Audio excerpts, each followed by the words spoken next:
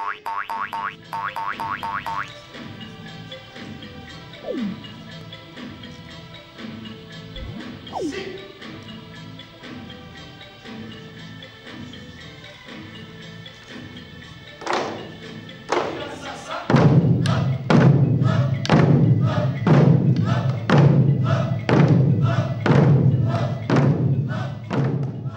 origem do taiko mesmo, ela vem de muitos anos atrás, de muitos, muito tempo, na época das guerras, quando os exércitos precisavam de um, alguma percussão para animar o ânimo, assim, para as pessoas poderem participar da guerra. O nosso intuito hoje aqui é celebrar justamente o, a amizade do Brasil e Japão e apresentar no Senado para a gente é um grande alcance, assim, de disseminar a cultura e tudo mais. Essa celebração dos 120 anos do Japão e do Brasil ser uma grande oportunidade para o Brasil mostrar o seu lado amigável com o país e